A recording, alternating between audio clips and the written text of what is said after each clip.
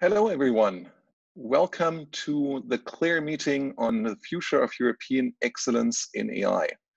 It's wonderful to see so many of you here, um, although, of course, uh, this is not really the same thing as being in the same room. And I'm very sorry that uh, we have to do it this way. There are some advantages too, in that I suspect that a few more people will be able to join us, and maybe a few different people will be able to join us, uh, given that we uh, hold this event uh, in a virtual way.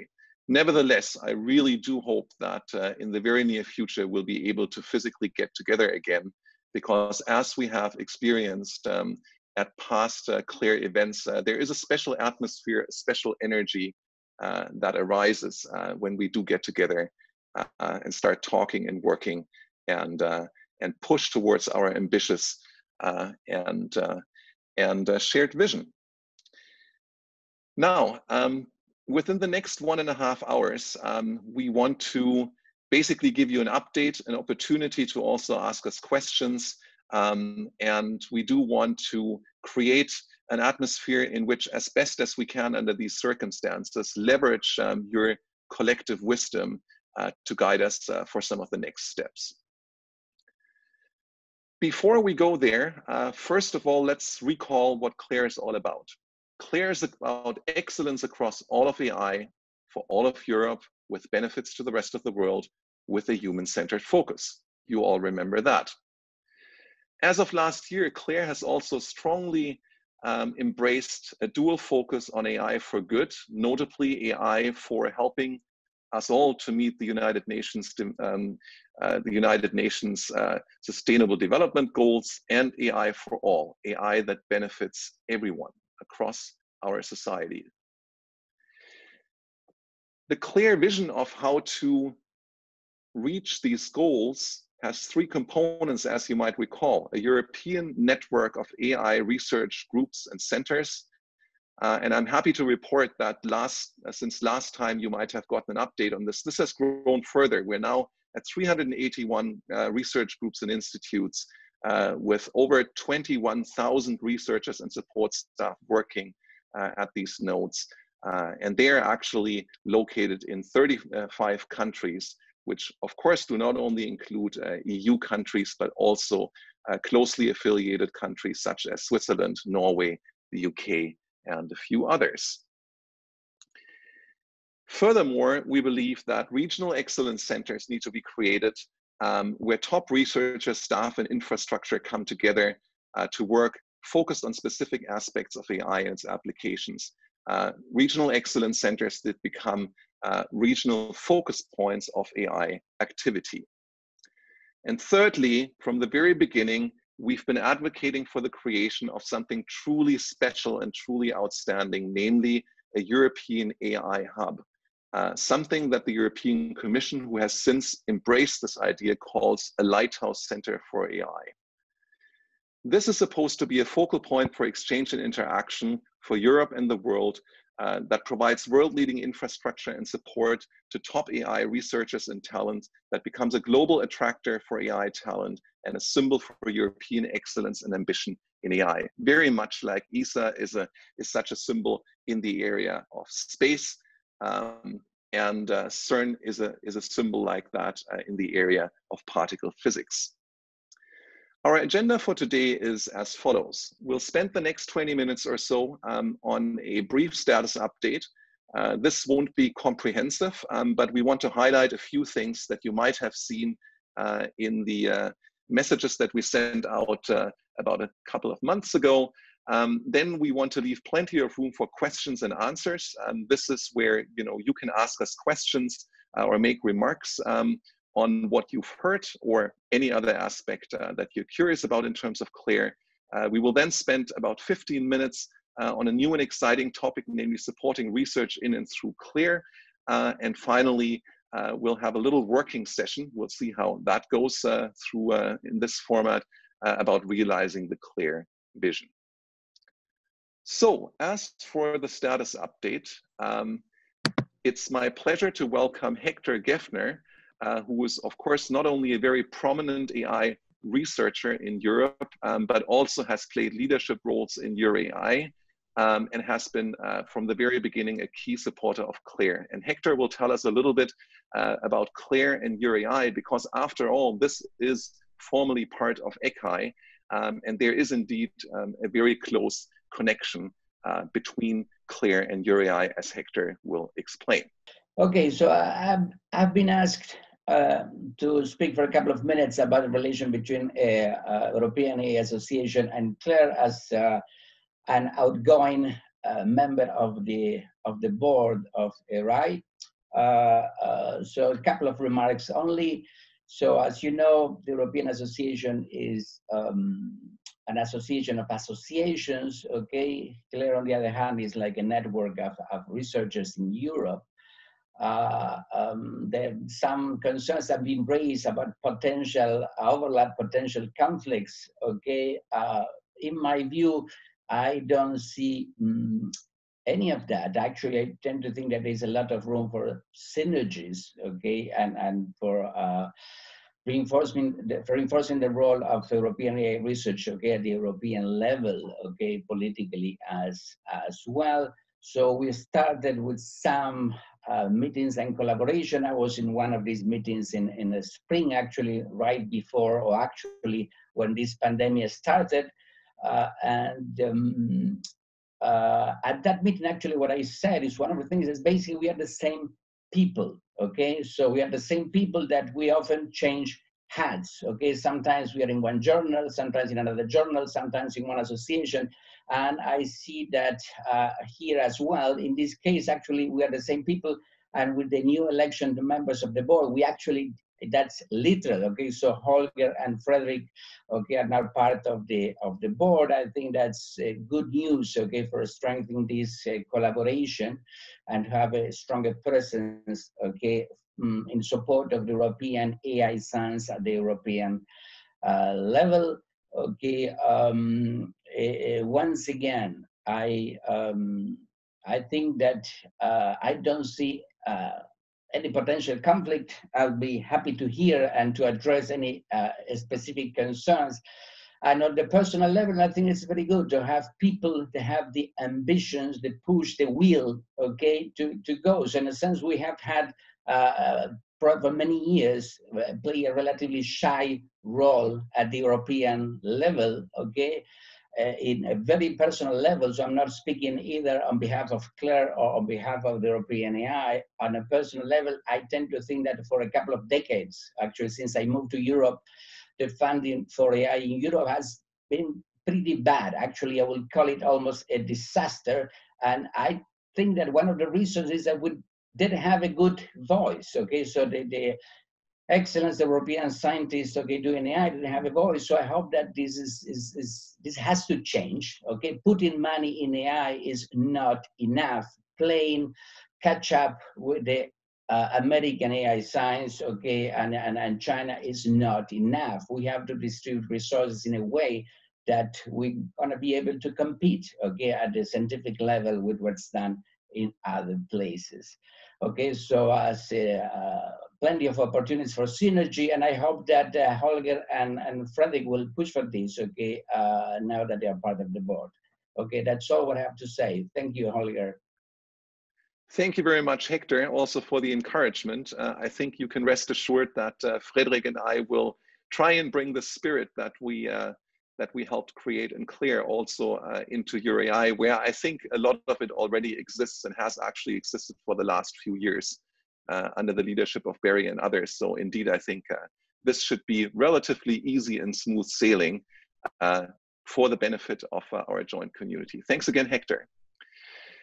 The second point I want to briefly address myself um, is uh, ICT 48 and beyond. Uh, some of you will have been just a little while ago at the opening of the TAILOR workshop that is happening today and tomorrow. Uh, TAILOR, of course, is one of uh, four new networks of centers of excellence. What Hector said uh, about AI funding in Europe um, is, is true. I, I agree with that.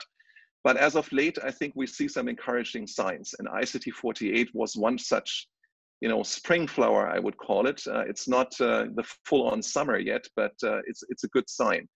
Um, Claire, as many of you might know, um, has been majorly and is majorly involved in, uh, in several uh, of the proposals, and three of, of those uh, four that have been selected ultimately uh, uh, were actually with major, major involvement from CLAIRE. And these are TAILOR, Humane AI Net, and AI for Media. each have been awarded 12 million euros for to be spent over three years. Now that sounds like um, a lot of money, but if you recall how big the research network is, and in fact, um, these networks here don't even cover our entire research network. Unfortunately, uh, that, that actually isn't a whole lot of money, but uh, it's good seed funding.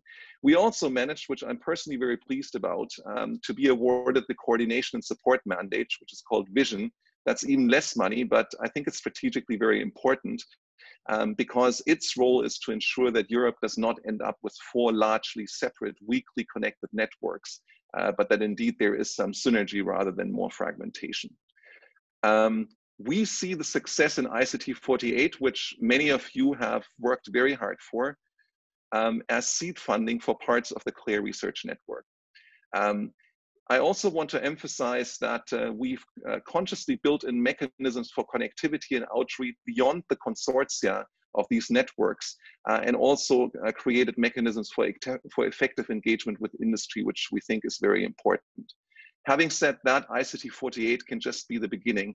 Um, and you know, it's, it's sad that uh, that parts of the European research community in AI um, have been kind of left out of this. Uh, I think that's a consequence of the way that the funding mechanism had been designed, um, but uh, we're working hard to try and uh, rectify this through future um, calls. There is an ICT 49 proposal under review that tries to draw in a few more partners, uh, and that has a slightly different goal um, as per the ICT 49 call, uh, namely to enable broad and effective use of the AI on demand platform to essentially help that the AI on demand platform uh, becomes the smashing success that it that it deserves to be and that the European Commission uh, wants it to be. So again, that is sort of a strongly clear, coordinated, and led proposal actually, uh, the pen has been held in this case uh, by DFKI, one of our members of the first hour. Um, and of course, we hope that, that this will be awarded, but it, it's going to take a little while until we know. Um, there will be more to come for broader segments of the CLAIRE community. Uh, if anybody is interested in helping us work towards that, um, I mean, of course, this is nothing that the CLAIRE leadership does by itself, um, but that uh, is sort of a bigger effort. So, so do make sure that we know if you want to work on something like this. Um, I would now like to invite Fredrik Heintz, uh, who's not only the coordinator of the TAILOR network that I just mentioned, uh, but also a member of the CLAIRE Extended Core team, and as we've just heard, uh, a new member of the EURAI board, uh, to talk a little bit about another very important activity um, that uh, we've been going through over the last uh, half year in a bit. Fredrik, please. Thank you very much, Holger. so one of the roles that I've had on the CLAIRE Extended Core team is that I am, together with Jeroen van den Hoven, have been uh, in charge of uh, leading the task force on uh, the response to the European Commission white paper. So as you probably know, uh, the Commission released this white paper in February this year and asked the community for uh, inputs on, on the um, white paper. And of course, this is one of the major mechanisms for us as a community to uh, provide input and to um, contribute uh, to make sure that uh, the opinions from the community which we represent uh, gets um, gets its due attention. Uh, so uh, in the working group, the, the process was basically that we drafted an initial response sent out this initial response to the CLAIRE community.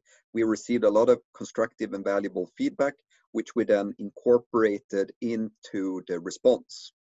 Uh, so in the response, uh, we had 10 key recommendations.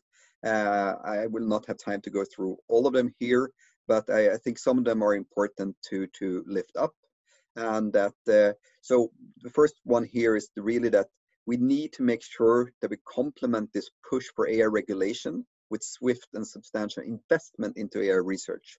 And this is, of course, there's a lot of talk about the regu regulatory aspects, but we also have to make sure that we have the, the science in order to uh, realize this uh, regulation. So in some sense, we cannot lead in regulation if we cannot lead in the, the scientific part. So in order for Europe to take a, lead in this area, we really need to be a leader in, in AI research as well.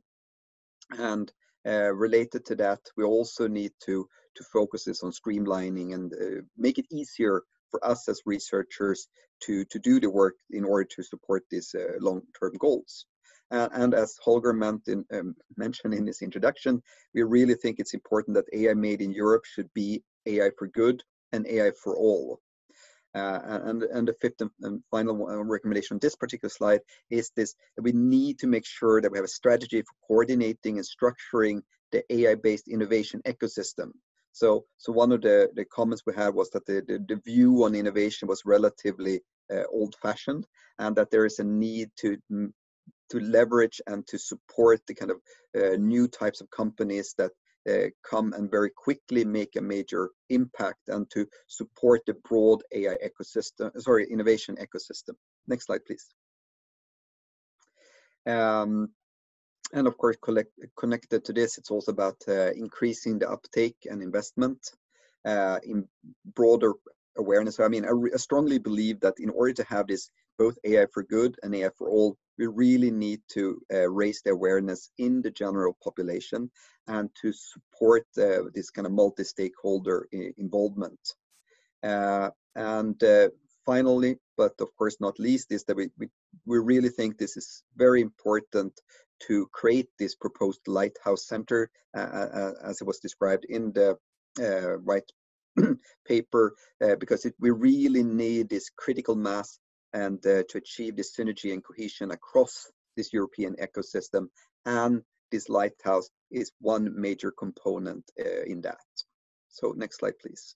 Uh, so after the responses have been collected, and I, uh, I think it was the order of 1,200 or something, a large number of responses were received, and we have seen a, first initial summary of these responses basically on the numerical values.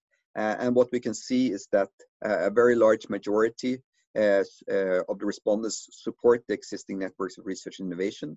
We also see that uh, almost two thirds of all the respondents are uh, positive or very positive, or sorry, thinks this Uh, Lighthouse Research Center is either important or very important, uh, which is of course a, a strong argument for the case that we have been, been building and also that there is a strong support for this public-private partnership that we see developing. So overall, I think this has been an important process for the CLAIRE community to be able to uh, provide uh, substantial input, and it seems like the, the recommendations and, and feedback that we have been given uh, is well received within the general AI community. Uh, thank you. Thank you very much, Fredrik. And if I might just add one observation, I mean, of course, you know, this enormous uh, number of uh, of uh, input, uh, of pieces of input that the Commission received is doubtlessly thanks to many of you uh, who followed our encouragement uh, to actually contribute. And, and as you can see, that can make a difference. Now, I happen to believe that the 64% of respondents in favor of the lighthouse is not just the people here. I don't think we have quite that many. Um, but uh, I'm amazed actually because you know PPPs, um, which uh, is they're, a mechanism, and, and we'll hear more about that. That's very established at the European level, and there's large lobbying groups behind that. Right, the lighthouse is a radical and new idea, and and we had reasons to believe that that it might be a bit of a controversial idea. The fact that without any major lobbying efforts except for our own, 64% of respondents were in favor of that, in my opinion, is absolutely outstanding. So uh, with that, I want to give the floor to Morten Irgens, uh, who is a member of the CLAIRE core team and in charge of uh, one of the most time and labor intensive initiatives that we've recently been involved in. Please, Morten. Well, thank you. Um, this is about uh, the European partnership in AI data and robotics. As, as you can see on the slide to the right, uh, it's a partnership between uh, um, CLAIRE and uh, our, uh, our, our AI brothers uh, and sisters in Your AI and ELLIS. And, and the Big Data Value Association and euRobotics, which are two existing public-private partnerships in the Commission's program for that during Horizon 2020. Um, so um, we are together setting up what is called a co-program partnership in AI, AI, data, and robotics. And uh, it goes under many names, European Partnership, Public-Private Partnerships, PPP, etc. Um, so uh, let me, yeah. So it's an instrument uh, under the Commission with certain clear objectives. Number one, to mobilize and coordinate public and private stakeholders in AI data and robotics. Uh, but also to mobilize and coordinate both public and private investment in AI data and robotics in order to get particularly European industry to, to invest in the long-term developments we need to see. And of course, uh, we need to produce strategic agendas for AI data and robotics in Europe. Um, and it's a good thing that these agendas are being developed in a collaboration with, uh, with the communities across Europe. Our timeline is the following. This fall, we need to finish our strategic agenda.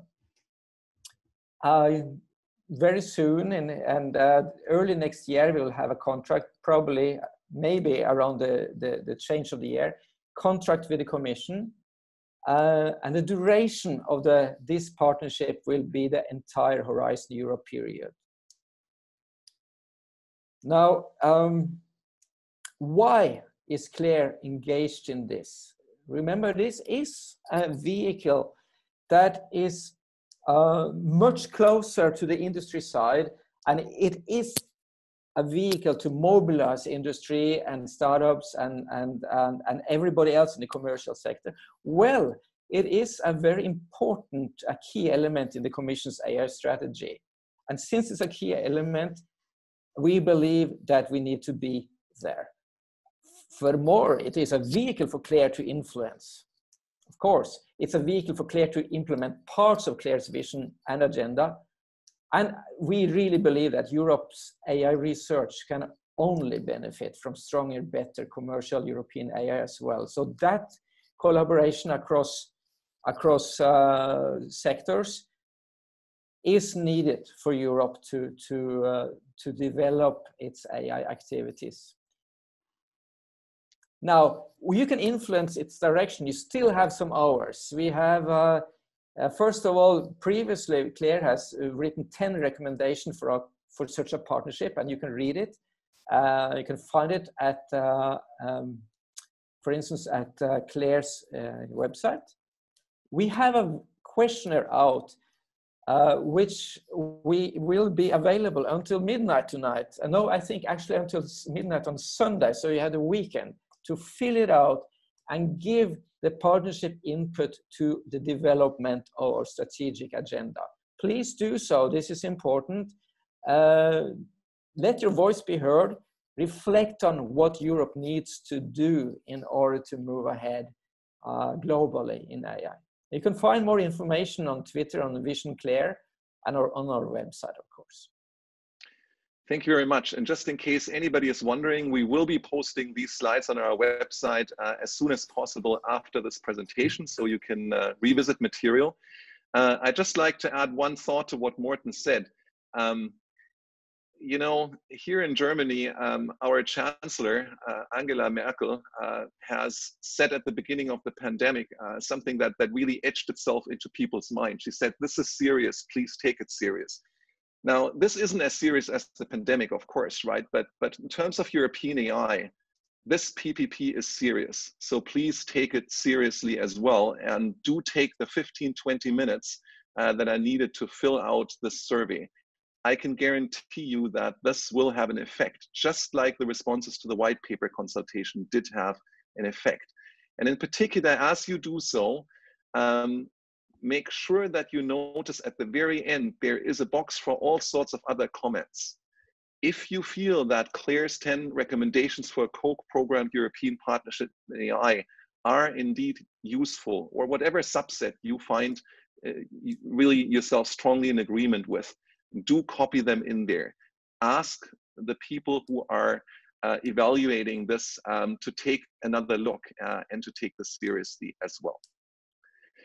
So uh, a very brief item, but I think it's, it's actually quite exciting, is our new collaboration with AI Hub. AI Hub is the Association for the Understanding of Artificial Intelligence. It's been uh, founded by former AAAI President uh, Thomas Dietterich and, and a few others. Uh, Sabine Hauert actually has played, uh, is playing a major role in that as well. Um, it is a non-profit organization with the mission to connect uh, the AI community to to the public by providing free, high quality information in AI research and innovation. You can imagine how important that is, right? Because so much hype is being spread by all sorts of outlets and actors, not all of whom actually have the knowledge to competently speak about AI. Not all of them have the motivation um, to really uh, tell the general public what AI is about, can be about, and should be about. So we decided to join AI Hub, and indeed we're in very good company. Um, there are six leading global scientific organizations in AI that are trustees, uh, the Triple AI, AIJ and IJCAI, the ACM Special Interest Group on AI, uh, IMS, IMLS, NeurIPS, RoboCup, and now also um. So I think that's absolutely wonderful. Um, and to make it even more wonderful, um, actually, we have injected a new focus um, into, uh, into AI Hub. And that is a focus on AI for good and AI for all. And AI Hub and us are very happy to sort of share this commitment um, to bring information to the public on how AI can and should be used for good and for all, and uh, to highlight research uh, that does that. So if in the future you have research that you would want to reach the general public, uh, this is a mechanism um, that we're opening for you to use. Of course, you could have done this by yourself as well by just contacting AI Hub, but by us having a stake in AI Hub, uh, we will make it uh, more streamlined and more effective yet. With this, I'd like to pass uh, the, the baton to uh, Philipp Slusallek, core team member of CLAIRE, to talk a little bit about another very exciting and potentially hugely impactful development that we have in CLAIRE. Philipp, please. Yes, thanks, Holger. And hello to everyone. Um, yes, uh, we have been in CLAIRE, we've been working a lot uh, on the collaboration with industry by establishing uh, a task force addressing this. Ta task forces are, are, mechanisms where we build small teams within CLAIRE that drive forward certain aspects of our work. Um, it's actually one of the first task forces we established earlier this year. And the motivation is really uh, the point that CLAIRE, to reach our goals, we need the close collaboration uh, with industry. And we've already heard about the PPP, which is a fairly high level, I would argue, initiative uh, at the EU level uh, with the Commission, uh, there's a lot more that we can do uh, hands-on in the direct collaboration between academia um, and industry, but also involving entrepreneurs, uh, also maybe investors and, and governments also active in this area. The idea is to, to complement our existing research network, which is limited to nonprofit research organization with what we call an innovation network. Um, and to create the necessary structures and services for that network. I mean, industry, uh, right, is not just interested in general nice papers or long-term visions, but they have very concrete needs. Uh, they're very interested in hiring good talent um, um, eh, but they are also willing to fund research in areas where it benefits them. And uh, in order to make that work, this is what we're trying to do with this uh, initiative. It's important to note that while all of the research network is for free, we envision, uh, no, we, we plan for the innovation network uh, for the industry to actually pay for that and that is uh, this this uh, money will be used for actually running this uh, industry network but hopefully there will be enough money to also fund um, other activities uh, in CLAIRE from that. In particular we are um, in the process of planning wide, uh, um, uh, a wide collection of services.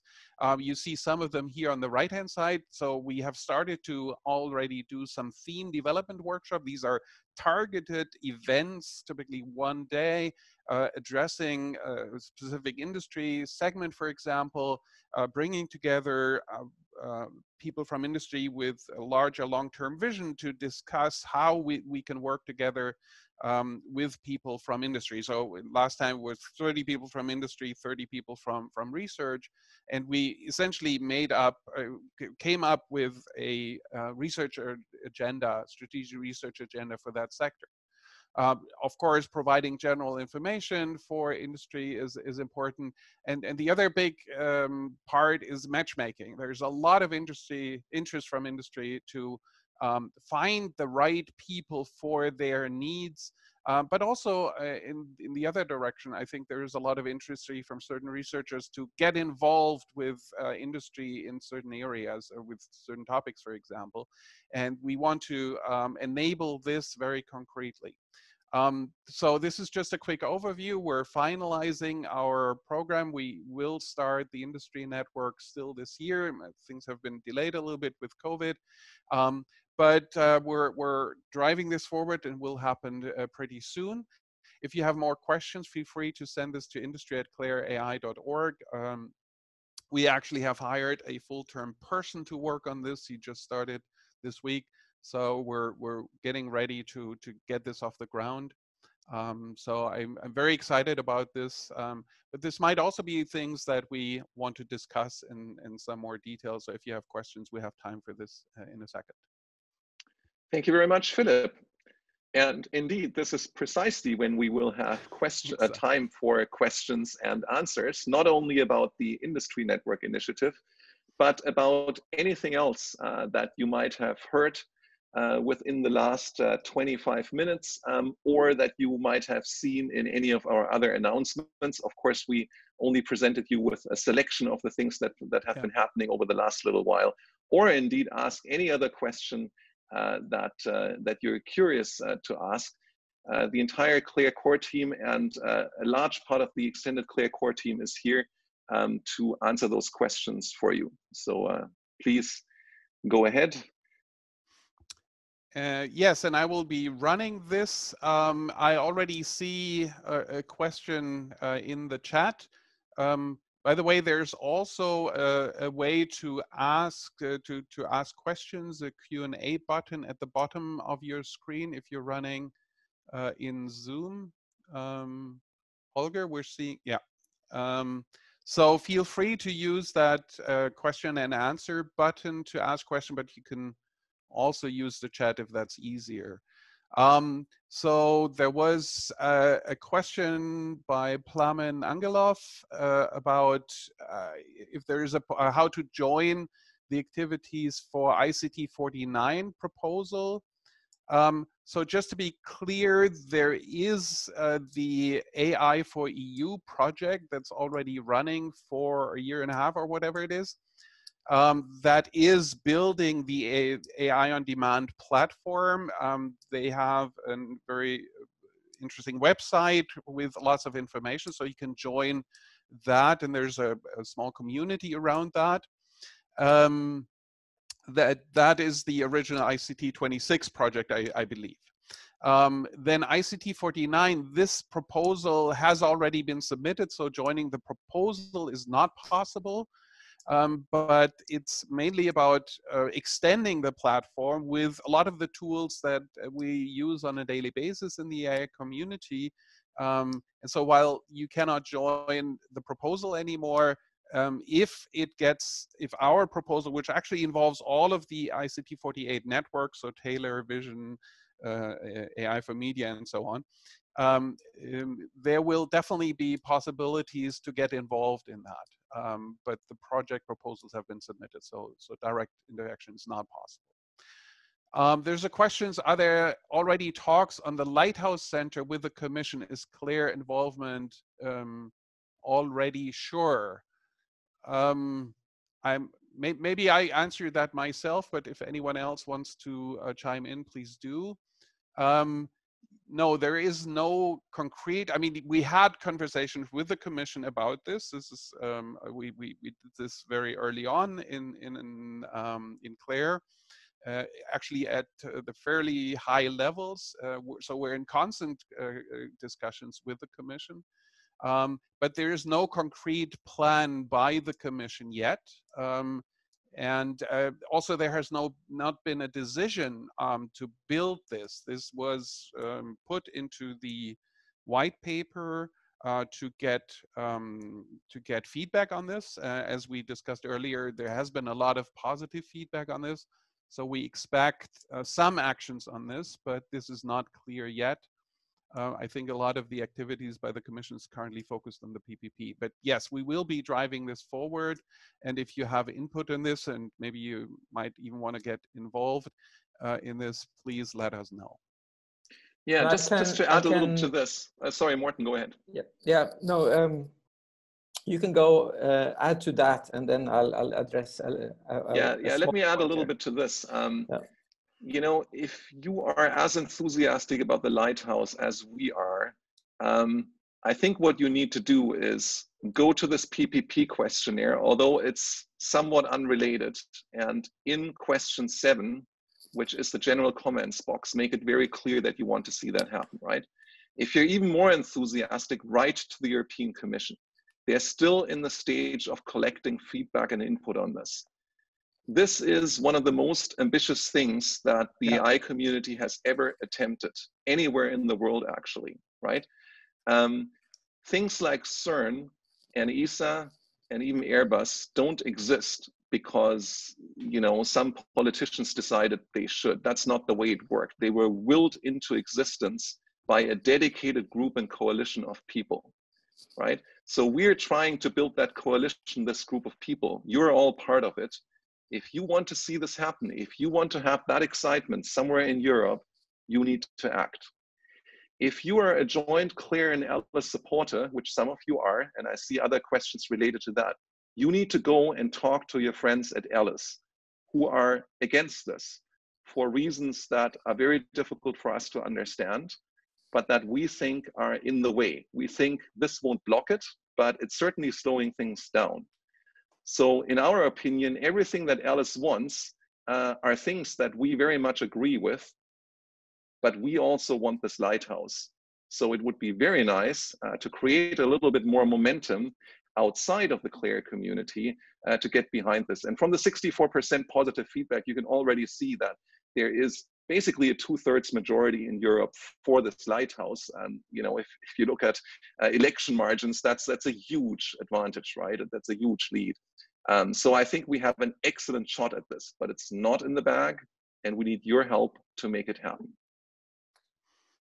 Excellent. Uh, great. Uh, so, better? so uh, I, I wanted to just uh, uh, um, just wanted to comment on. There are several questions regarding the relationship between between Claire and Alice in in the in the chat.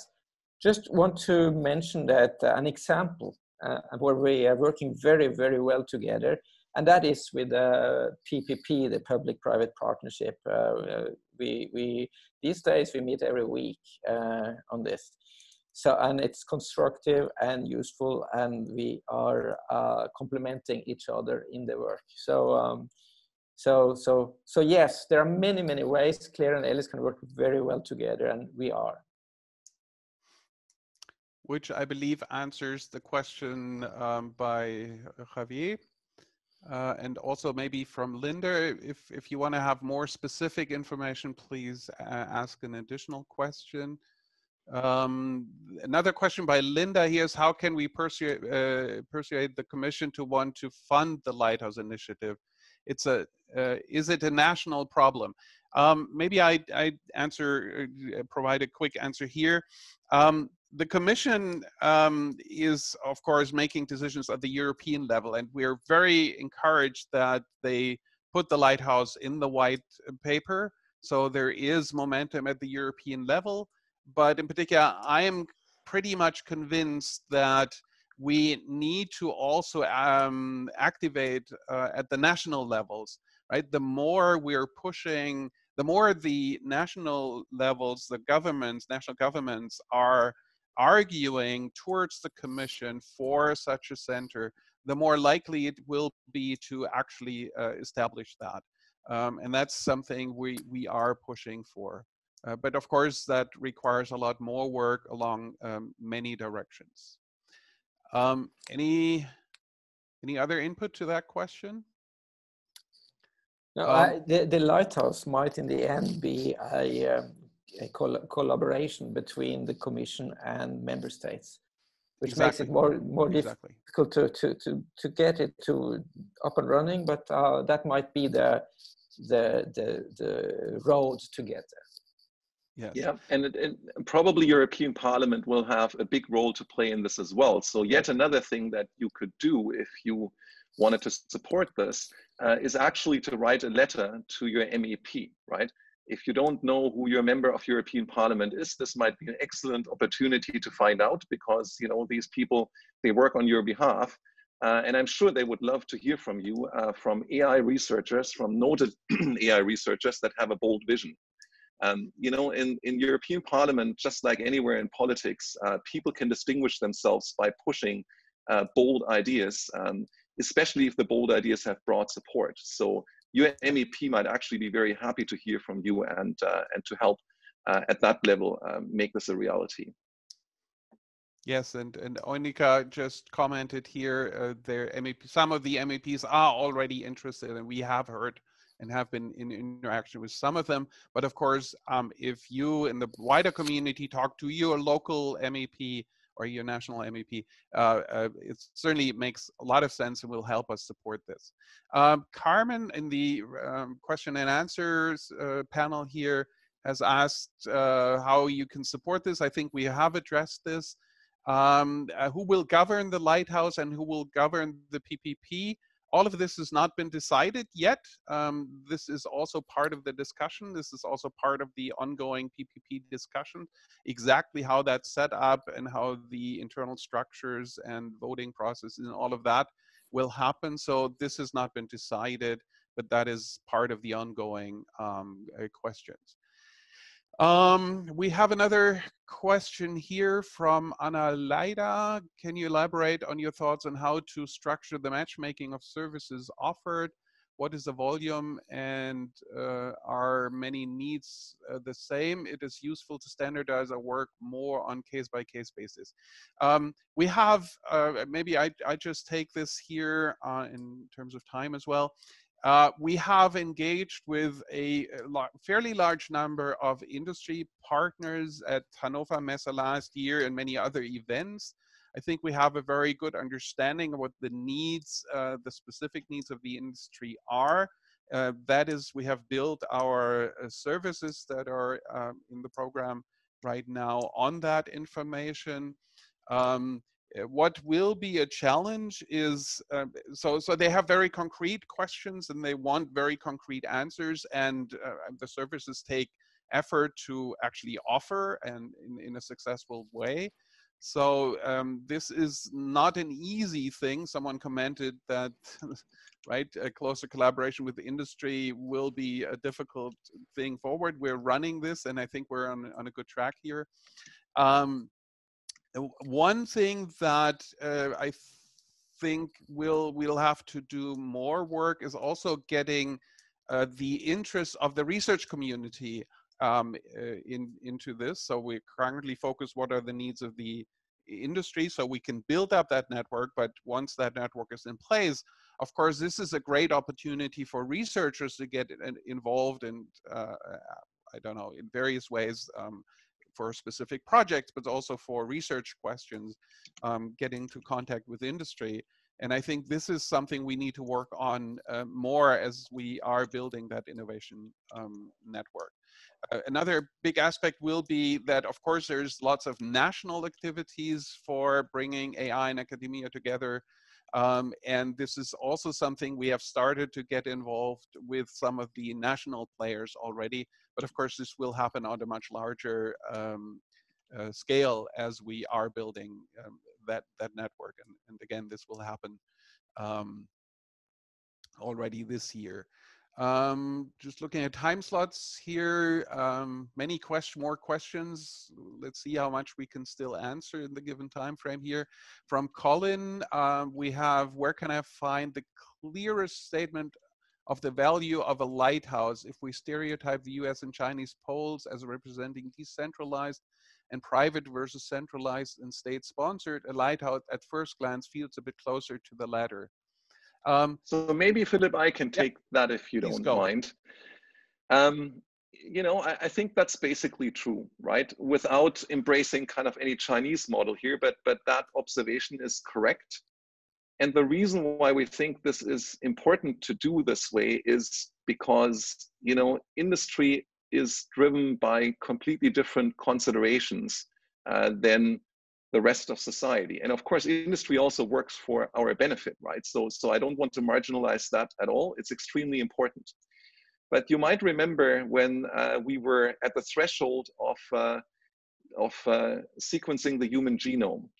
Um, that was an industry-led effort, and there was a big argument, which back then actually was made first by the United States, interestingly enough, where the company that that did it uh, was located, um, and then it was echoed very quickly worldwide that this is so important that the public needs a major stake in it. You cannot leave it to industry alone. Industry will do its thing, and we see this with Google and Facebook and Apple and so on, and they're doing great things, right? They're doing wonderful things. Not everything they do is wonderful, but they're doing fantastic science. They will continue to do so. They need to be connected to us. They benefit from that. They need our talent. Um, they need political support as well. Um, but AI is too important to leave it to industry alone to have the cutting, bleeding edge. And that's why the public has to step in. Now, why does it have to be centralized? There's a very simple reason for that. It's critical mass, right? Um, critical mass of people, of talent, of resources. And also the fact that it should be a symbol, a symbol very much like CERN is one, right? If you want to create something that becomes a global attractor, it's very difficult for that thing to be distributed. Very, very difficult indeed. Symbols are usually not distributed. And that's why Claire from the very beginning pushed for this lighthouse idea. That's why many people are, you know, very enthusiastic about that. Um, that's why we get a lot of political uptake uh, on this idea. Now, there are all sorts of practical questions regarding it, you know, where should it be and so on and so forth. And there are clearly, you know, mechanisms that can be used to fairly and equitably answer these questions. But the most important thing to keep in mind is different from what you might sort of have in mind with the Chinese model, where the whole thing is state controlled and centralized, right? The lighthouse is only one component in the European AI strategy. There are other components. There is the network, which is you, actually, a lot more than just you who are here today. Um, and then, of course, uh, we believe that the regions play an important role, hence these regional centers. So all of this needs to come together just putting all the resources in one centralized piece of infrastructure would be a big mistake, and that's not what we're advocating. We think that would be uh, that would be a bad way to go. Uh, we need to invest at all three levels, and notice how this actually mirrors sort of European infrastructure of many different kinds. So it's not like this is an outlandish idea for Europe. It's actually a pretty logical idea that fits well within the political framework of the Union uh, and its various associates and friends as well. Yes, thanks, Holger. Um, uh, there was a question, how many people are on this uh, call here? It's 133 right now, um, as you can see also in the chat by Holger. There is a question by Risto. Uh, do you have any concerns what your, that your work could increase a rhetoric of an AI race globally? Europe is behind of the US and China which could potentially have negative effects in terms of AI for social good, as argued by uh, some people. You, you might see this yourself. Um, maybe I take a first step here. So we have always been very inclusive, um, and we very clearly argued that we will, of course, work closely with all the other uh, people. Uh, we have very good connections to Japan and Canada and other places. Actually, we, um, well, it's actually through DFKI, we've been uh, part, uh, but Claire plays in a really important role in this. We've just won a tender to support the European Union for collaboration with what they call like-minded countries and actually to build an international alliance um, for trustworthy AI on a much, much larger scale. And this is just one of the many ways we're driving this forward. So um, unless I've misunderstood that question, um, I, I, think we're, uh, we're, we're certainly not um, uh, kind of um, helping that race. I mean that there there is of course a race. Research is always on a competition, and industry is as, as well. Um, but uh, we just want to make sure that uh, Europe is um, is visible as a important partner here, um, but as a partner who is always inclusive, but has very specific interests, in particular on the trustworthy side. Um, so let's see, uh, what do we, one of the, from Javier here, one of the main problems of our world is poverty. AI might contribute to reduce differences between rich and poor countries, promote justice, or to aggravate the situation. Has Claire any position about this? Has Claire tried to collaborate with AI associations in LMIC, for example, in Africa and Latin America? Um, Holger, you want to take this, or um, I mean, uh, maybe from my side, there Oh, well, clearly, we you know uh, we have established uh, uh, AI for good as one of the tenets yeah. Uh, for our work, and uh, and uh, clearly the UN's sustainability goals are very important for that. Now, we would love to see that we can spawn activities across across Europe uh, interest groups uh, in very, uh, to, to work on particular areas within, within UN's sustainability goals. there's a lot of work in front of us. I can I think that is the better way of, putting it right now. But we do already, uh, for instance, the work with uh, our COVID uh, team is an example where we are applying our, our expertise across all of Europe to address an issue. And we hope to do it for more, more issues in the future. Exactly. Another good example for that sort of thing, although Javier, I think it doesn't go exactly into the, into the direction that you envision, uh, is our uh, joint activity with the European Space Agency.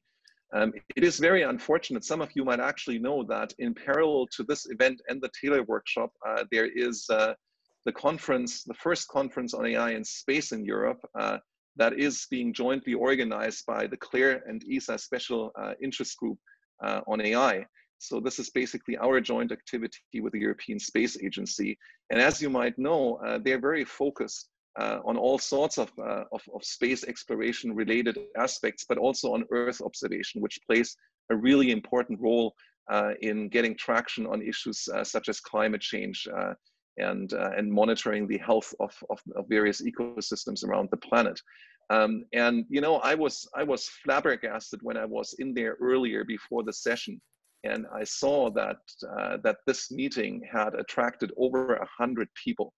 Um, you know, they they had wonderful speakers from all over the world, from China, from uh, uh, from the United States, from uh, you know people from NASA, uh, and of course from all over Europe. So uh, there are activities like that, that that sort of really radiate beyond Europe. However, what Morten says is, is entirely true. Unfortunately, um, our resources are somewhat limited and uh, at this time have to be focused perhaps a little bit more than we would like to on issues such as the PPP, where we don't make the schedule, um, but we basically have to make the best use of the opportunity.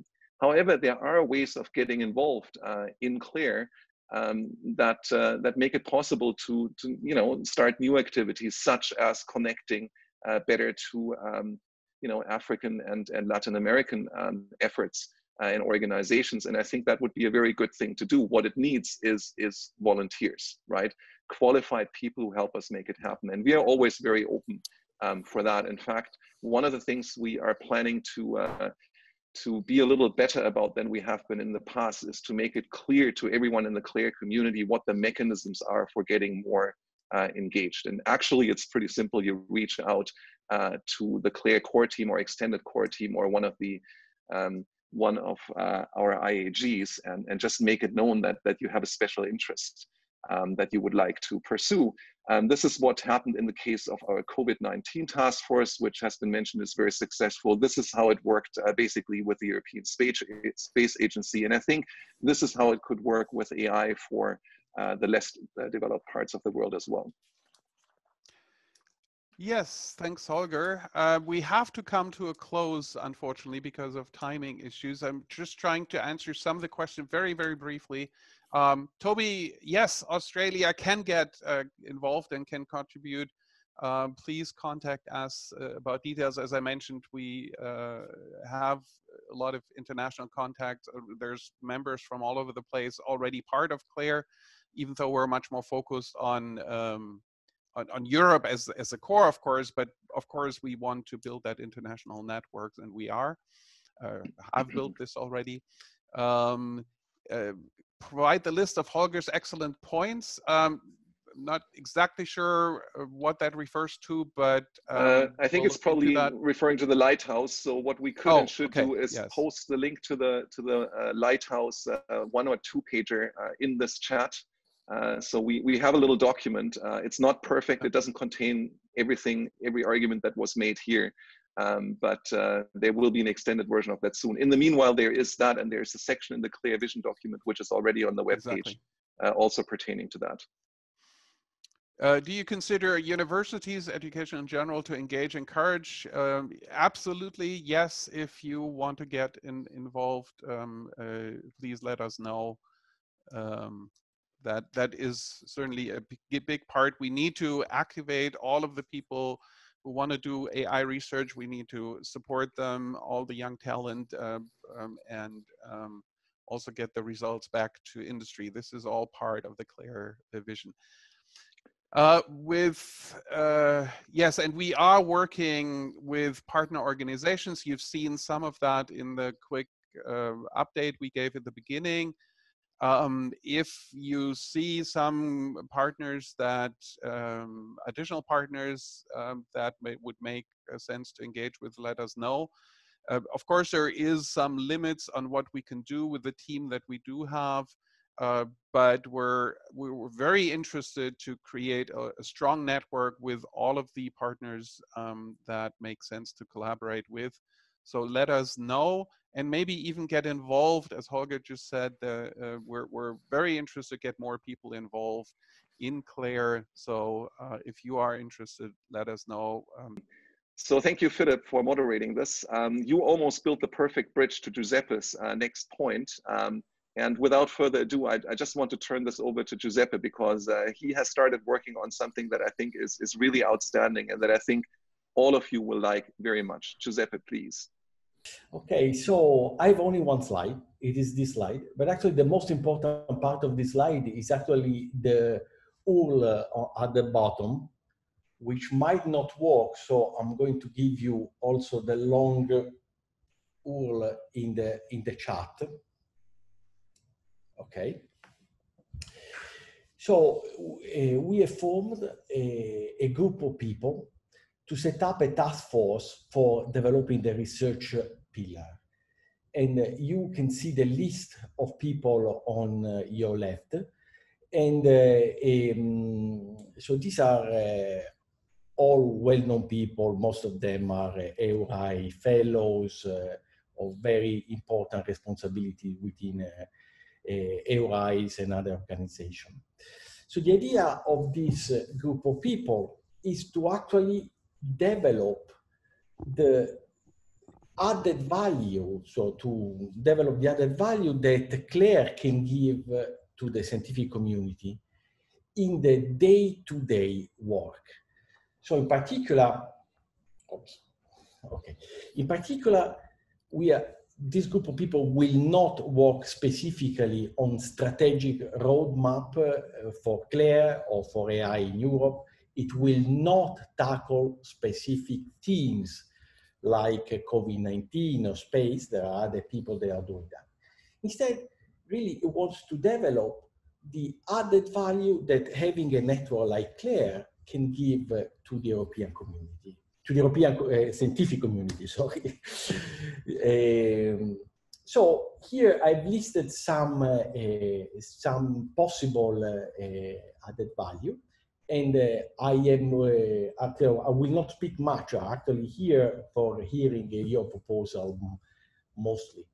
So let me give you some examples. So first of all, rec recruiting PhD students from all over Europe. So when you have a PhD student, the PhD student normally doesn't really know much about your research, doesn't really know much about uh, the specific scientist. However, it may be aware of Claire and Claire could actually somehow create a sort of a pool of possibilities for these PhD students. They can be more uh, easily, uh, can have an easier access to the various PhD program over here. Then encourage students, I'm thinking PhD student or even a master student, maybe to spend time in Claire's partner site and possibly to have co-supervision of students uh, through different uh, PhD programs. So uh, then possibly having some sort of CLAIRE support to PhD programs. So obviously PhD programs are given by university, but maybe CLAIRE can give some sort of label and what it means to have this label. That maybe you have the possibility of spending a part of your PhD in another site. Uh, or you can also maybe some course of your PhD could be recorded and given to other site. Um, also, um, let me see where I am. So the other thing is uh, a CLAIRE summer school. Now, we do have an EurAI summer school, but the EurAI summer school is, is a little bit small. I'm thinking about something like ESSLLI. If you don't know what ESSLLI is, let me give you a link because it's a, a very, very interesting kind of school that we have in Europe. We are actually the only one in the world that this kind of school. So essentially what happens with this ESSLLI, oh, I think I copied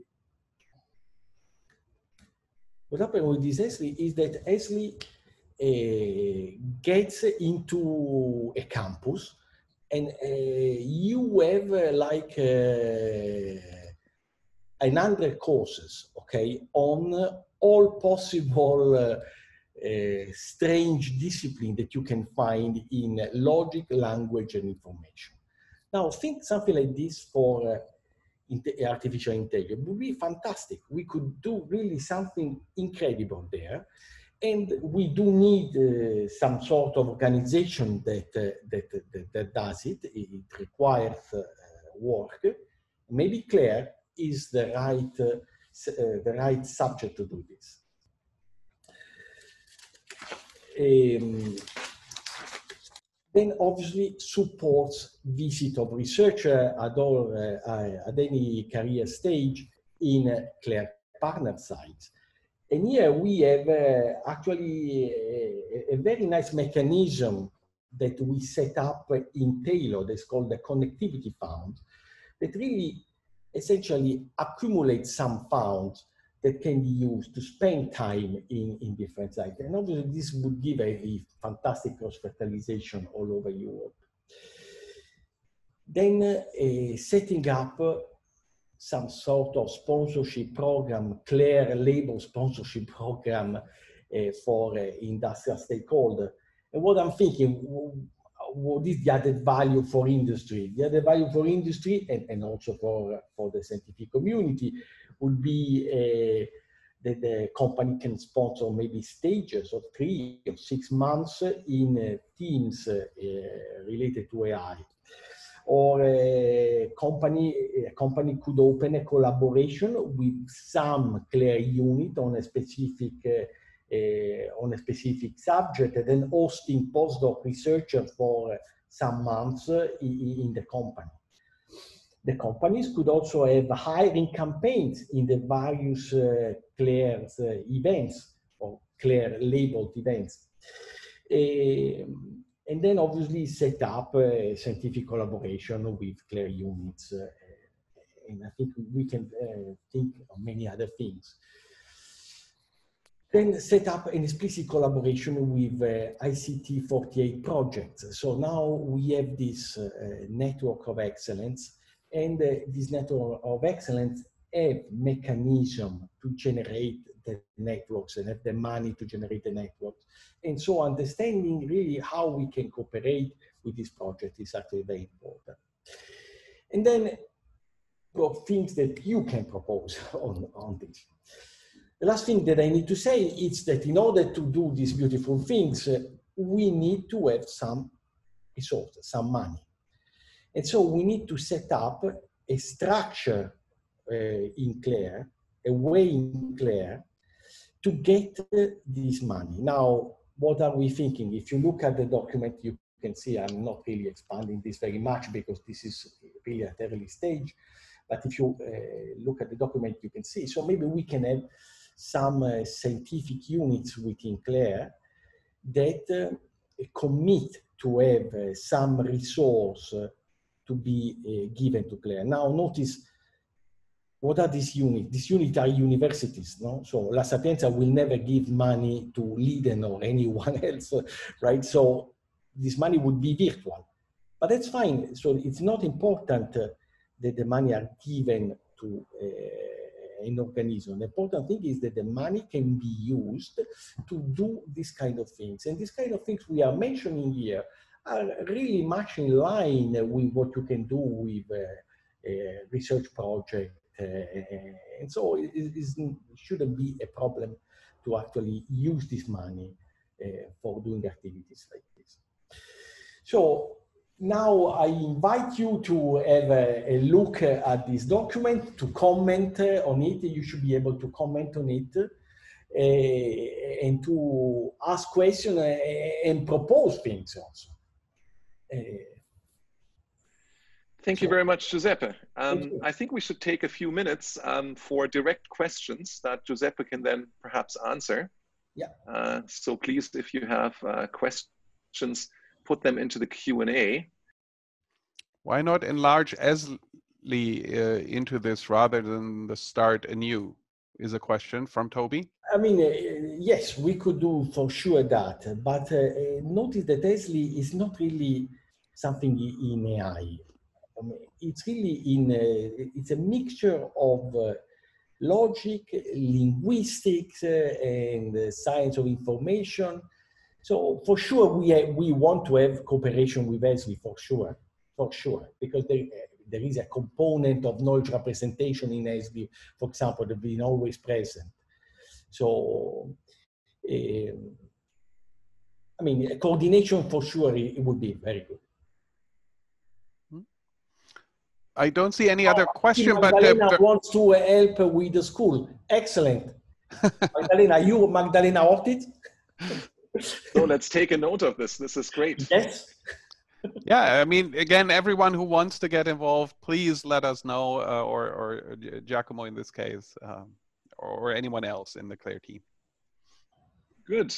So if there are no other burning questions, um, let us thank Giuseppe again uh, for spearheading this effort. Um, this is the kind of volunteer contribution that's always most welcome. And you know, Giuseppe sets a great example because uh, he is a busy man. Um, he has just been the program chair of, uh, of ECAI, right? And, and we know what that involved um, because this was a huge conference, not easy to organize because of the circumstances. So we all owe him a big debt of gratitude for that. Um, but in parallel to this, he also put cycles into this initiative, which I find uh, extremely impressive. So thank you once again, uh, Giuseppe, for all the work that, that you're doing here. Uh, within CLAIRE and beyond for the community. This is absolutely wonderful. So now perhaps we can move into our last agenda item. Um, and uh, this is something I've been looking forward to. We, we have to see how it works. Um, Morten, um, you're leading this. Uh, please take it away. Thank you. Um, you should run the slides from your place. Yes, thank you. Um, well, uh, the vision, the vision of, uh, uh, well, let me just start with saying that we, we, we, what we are going to do now is we are going to talk about and get ideas and suggestions and proposals, anything to help us with how, finding out how we should realize the vision, CLAIRE vision. Uh, Holger, let's take a look at the next slide uh, before this one. Just uh, these are, as you remember, the vision for CLAIRE, three objectives, excellence in all areas of AI across all of Europe with a human-centered focus. Two principles uh, or focus areas, AI for good, AI for all, and three instruments we're looking at, network of centers across Europe, regional centers, possibly somewhat specialized on broad application domains, and a central European lighthouse or hub. So what we would like to do now is to, let's go back to the previous slide, uh, Holger. Uh, we have a, a, a panel. Uh, we're going to discuss this, but we're going to ask, before I introduce the panel, I would like you to take a look at uh, the link that we will post in the chat at any moment now. That will been, take you to a Google Doc. already. Yeah, excellent, excellent. That will take you to a Google Doc. And in that Google Doc, you can start with um, putting in your thoughts. There are some questions there, and it's a it's space for you to write whatever you would like to write there, and you can also add your own questions to that Google Doc. And we will try look at it and, and use this as we're moving forward, but we can also pick up some of the things that come up there and in the chat during our discussion. Now, back to the panel. So while you are doing this, back to the panel, I'm happy to have Fredrik uh, Heintz, Marc Schoenauer, uh, Jan Bormans, who's the CEO of the European Startup Network, uh, Josef Urban, Holger Hoos, and Philipp Slusallek here uh, to discuss um, some of the things that we've been thinking about and some of the issues that we have asked as questions or any other questions they might have. So I thought I should just start with throwing the ball uh, to, or a talking stick if you want, to Fredrik. Uh, and uh, Fredrik, uh, when you, when I, we asked you to reflect on this, uh, what did you think about? Oh, thank you very much. No, so I mean, actually, I'm I'm in, I'm in a parallel meeting right now with an, a Swedish organization called AI Innovation of Sweden, which is really trying to kind of accelerate the use of AI in in Sweden. And uh, one thing uh, that I think is very important is how can we tap in and uh, uh connect to kind of national initiatives that are covering some of these aspects, so that we don't have to redo the things, uh, uh, but rather can um, yeah, hook up, connect to uh, existing work, and thereby both helping them, of course, but also furthering uh, the visions that we have. So that I think is a strategically very important question. Um, yeah. And also uh, fostering the collaboration across national boundaries, get uh, right best practice in one area to to other areas. I think there's a lot we can do in that direction. Clearly, national initiatives are the, the, the, the backbone uh, of AI in Europe. And uh, the, the, you, the initiatives, including CLAIRE, that goes across, can help creating more bang for a box for national initiatives, but also the other way around. So I do agree with that. Uh, would like to see uh, whatever you, all of you are um, putting in, We'd like to see your reflections on that. How? Because this is a question. How can we tap in to national so I, initiatives? So I can give one point because I mean the way we, I've been kind of introducing CLAIRE to them uh, is because they are of course very much interested in internationalization. Yeah. So uh, in that organization, it's mainly Swedish uh, companies, universities, organizations, and so on that are part of it. But of course, they want to have uh, international collaboration and international um, connections. And there, I think, is one concrete example uh, of this. Uh, I also think when it comes to um, uh, kind of industry connections, because I mean, companies are usually rarely only national, but usually international. And uh, if you can then uh, offer companies not only in, in this case connections to Swedish AI research and innovation, but also European research and innovation, you can make a stronger offer to companies and other organizations to become partners. Excellent. Well, uh, Marc, uh, when uh, when you reflected on on this, and we, of course, we are discussing on this these issues all the time, but sometimes we need to bring, we need to go to the core questions again. It's like axioms. We need to get back down to that. Marc, when uh, when we asked you, when I asked you, what what what would be the question or issue that you would like to to put forward? Uh, okay, hi. Uh, it's it's one of the questions in the in the Word document about, and it was already discussed here, but I'd like maybe to add a, a little bit more about the smoothing the relationship between uh, research and industry. Uh, as you know, uh, Morten has been deeply involved in this AI PPP uh, thing. I'm trying to help as much as I could. So the first thing I want to repeat something I said in the TAILOR opening workshop. We need to make, I mean, we researchers also need to get involved in the industry-driven uh, initiatives. And of course, the PPP is at the moment the, the, the most prominent one. Uh, and it will only, I mean, we can only have, a, let's say, balanced relationship with industry if we also show we want to participate there and put some uh, cycles there. So that's important uh, that all researchers uh, get involved in the, whatever will be the, the association driving this uh, forthcoming PPP. Uh, another thing about this is uh, we've seen uh, in the previous previous discussion about research that we want to encourage, let's say, researchers to go from one institution to the other across borders, that's fine. I think probably we should also encourage, let's say, engineers from industry to, to join uh, for some time research institution.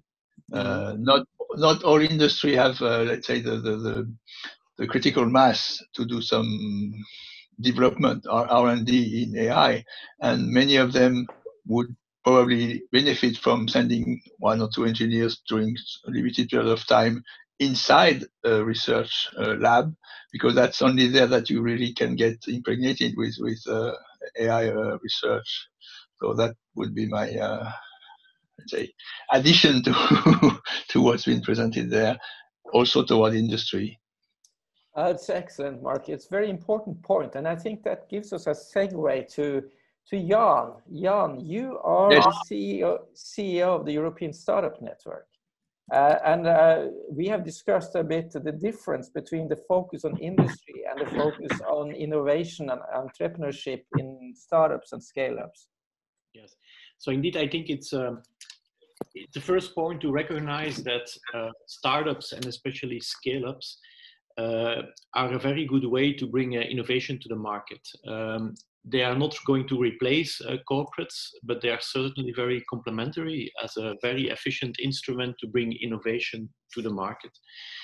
Um, so maybe I can comment on, on what I heard. Um, so when I heard about uh, the goals of CLAIRE um, having centers of excellence and, and regional centers, um, this sounded very interesting, but also familiar because if you think about startups, startups that grow, startups that have uh, impact, they don't do that in isolation.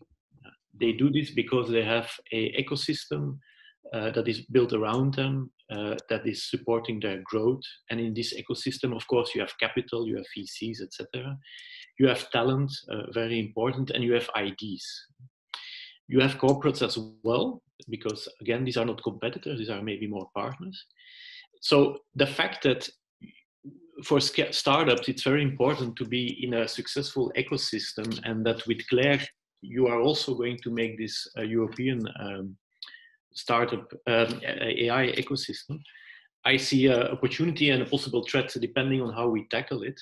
Uh, so the, the threat would be that these two things are decoupled. Yeah, that you have startups in one world and CLAIRE in another world. Um, because it's about people, people that have to meet each other, that have to understand each other's world. Uh, but so the opportunity is, of course, that we should uh, make sure that there is a good connection. So depending on how it goes, is a threat or an opportunity. So these were my uh, initial thoughts. Uh, thank you, Jan. I think it's very interesting that that AI, particularly, uh, and a lot of the research that uh, that people online now listening to us, a lot of the research they're doing is disruptive to existing industries, which means that existing industries might be less interested in, in, in collaborating on these things. Uh, so uh, I think uh, the nature of AI makes it very important that we, we expand our view from just being industry oriented just to the, the broader ecosystem. Josef, uh, over to you. Uh, your reflections on uh, which question would you think would be the one you would select uh, if you if you should select one? Oh, thanks, Holger. I I would like to say something which probably continues what Fredrik suggested, the, the interplay between the, the national and the, let's say, European level. So it, it seems to me that um, there are untapped opportunities uh, for um, like let's say take a country like czech republic where um, we we need to explain to to, to the government uh, the importance of ai the importance of putting funding the importance of uh, like Jan was saying, the collaboration with the um, startups. And uh, it, it, seems to me that um, one thing where CLAIRE could be very useful is basically to reverse the direction. Like we have sort of forced or talked our governments into supporting CLAIRE, but now we could use Claire to to sort of strengthen the, the communities in each of these countries uh, by providing some sort of certification, some sort of value, some uh, some sort of guarantee that uh, the the AI plans that we are proposing locally to to the national governments uh, are sort of state of the art, are the like world leading quality basically. Mm. So so so one one thing, and you know, I have sort of lobbied uh, you as the core team already, like in the beginning of this year, before the COVID um, crisis started, to to do something like this in support of the Czech Republic efforts. But I think what we could have, and I think somebody was even asking for that in in the questions, like for some points how to how to lobby the the the governments, we, we could have some templates uh, for uh, CLAIRE to, to basically help uh, the particular communities in each country to, to lobby for AI centers, for CLAIRE centers of excellence, for uh, combinations with uh, startups. And the CLAIRE community would be the community of experts that uh, provide the um, evaluation, that provide the guidance, that provide the uh, selection of programs and mm. people, etc. Yes. Uh, so, so that that would be one thing I, I, think where we we could do something relatively easily, and it might have a lot of impact. Well, thank you, Josef. Uh, since we are in coming towards the end, uh, Holger and Philipp, um, you, have you been on the Google Doc and seen some of the questions there? Is there some something there you would like to pick up?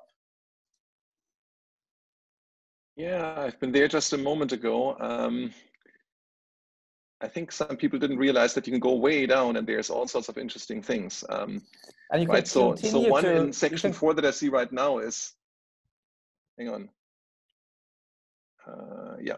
One that I see right now in section four is how do the small players also get a chance to utilize these resources since it's unlikely that they can make a case in a competitive setting against the big players, right?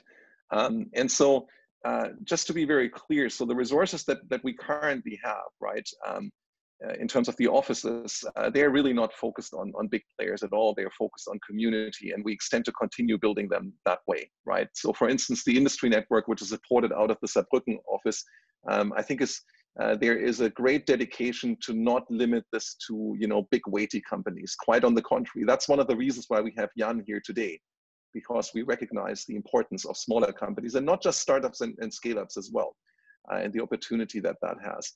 Um, in terms of researchers that, that haven't been involved in, uh, in our proposal so far, um, we have started basically a CLAIRE support program for um, funding proposals that were not directly involved. Um, and what that means is if you're working on a, on a European proposal in particular, that you think, um, if granted, furthers uh, the, uh, the goals of CLAIRE and benefits the CLAIRE community beyond those involved in the proposal, do let us know. We might be able to provide um, a letter of support, and we have done so in quite a few cases.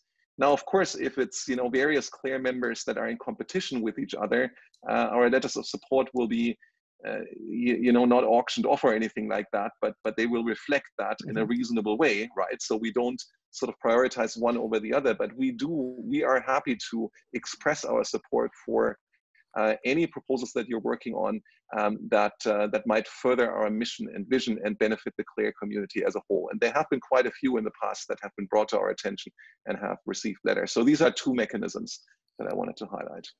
So since we have uh, very little time left, uh, Philipp, uh, if you have 30 seconds now, how would you use it? Well, I've talked about the industry network, and I think this will be in a very important part. Um, but uh, maybe I use the last few seconds to highlight again that we see and we've always seen CLAIRE as an inclusive and um, AI for all, right? Very inclusive um, organization where we want to create as much synergy between activities uh, while maintaining the identities of individual sub-communities. And um, I'm very happy to see um, the closer link with EurAI now also through the board. That's exciting. Uh, I, I, see that also while there has been some issues with, with ELLIS, there, there is more and more collaboration uh, with ELLIS as well.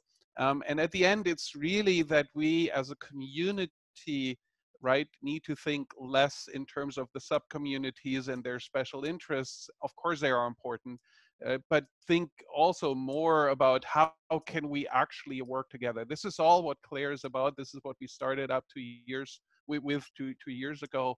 Um, and uh, one of the things that are the key element of that is get involved uh, and uh, help us realize that vision. And uh, please just contact us if you want to. And Thank you, Philipp. More than 30 seconds. We we we uh, come to an end. I'll give the 10 seconds to to Holger to wrap this up, and thank you all. I'm going to take uh, more than 10 seconds, but thank you, Morten. Um, so first of all, thank you to uh, the many people who have been here today. So uh, we're we're indeed at the end, and we're still over uh, 100, which is which is really great. Uh, so it seems that what we're doing is as exciting as AI in space, and maybe even more exciting. Well, AI in space is part of what we're doing, right? So that's that's cool. Apologies again to anyone who wanted to attend both events. You can now go, go you can now go back to AI in space. Um, or indeed TAILOR, which has uh, generously provided a break for its attendees to be here.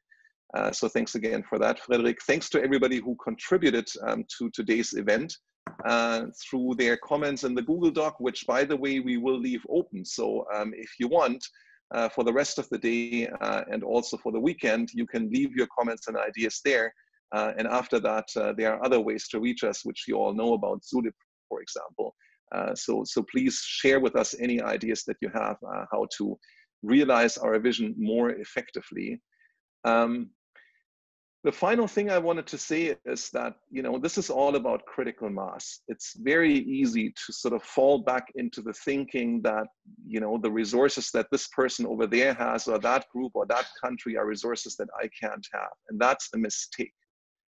I think what we've learned over the last few uh, not so pleasant and partially tragic months, however, is that the European model actually works really well, right? Yeah compared to what happened in other places in the world, what's still happening in other places in the world, which is quite sad. And you see how, you know, a determined collection of diverse societies standing together can do amazing things. And I think the COVID recovery funds uh, will enable more of this.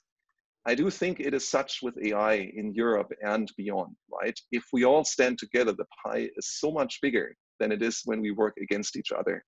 And therefore, I think we should continue to actually assemble our critical mass all the way until it ignites and doesn't create a big explosion, but starts producing tons of energy that we can inject into the system, into society. Um, and to just wrap this up, I want to end actually with something that Paul Lukowitz said uh, in the panel yesterday, which uh, I think rings very, very true. Uh, Paul is the coordinator of the um, Humane AI Network, uh, which of course very closely uh, works with, with CLAIRE and has many CLAIRE members in it. And Paul said, you know, when we think about AI, a mistake that we easily make is that that we're afraid and that we you know look at competition and that we have all these negative things that propel us to, to do certain things That's not the way to look at it. We should look at the opportunity. And the opportunity before us in Europe with AI is immense. And I would say that as a result of the COVID crisis, the opportunity is even bigger, right? We should make use of that. We should make use of that by, uh, in our daily work, realizing that together, uh, leveraging the diversity and the critical mass that we can assemble, uh, we can be much, much stronger than any smaller collection of people. So it's not divide and conquer, it's, it's assemble the critical mass uh, and do amazing things. Um, and this is what we're all committed to doing. Um, thank you everyone who was part of this journey. Uh, we'll keep you updated, of course. There will be other opportunities, and I hope that one of these uh, opportunities in the, in the not so far future will bring us physically together again so that we can see each other's faces, that we know who's in the room, that we can create the kind of energy we had at uh, previous live events. Nevertheless, I hope you enjoyed this today, and I hope to see you all again very soon. Thank you very much.